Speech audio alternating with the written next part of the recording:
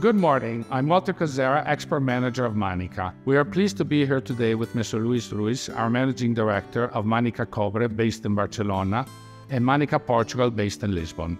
We are witnessing an important climate change in our areas, and this commits us to a common effort in research and development of new products. Our laboratories select and test low impact and high efficacy products with green eco formulas to face these changes. With Mr. Walter Chiasera and the Manica R&D lab, we share field experiences and gather the needs of Mediterranean agriculture. We are always on the forefront of providing appropriate responses to climate change, affecting crops and the work of many companies. We are pleased to present to you our first sustainability report. Thank you very much, Walter.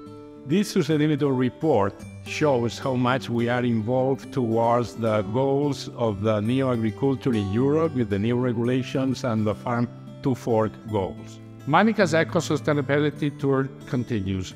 Stay updated on our digital channels to see where we will bring you next.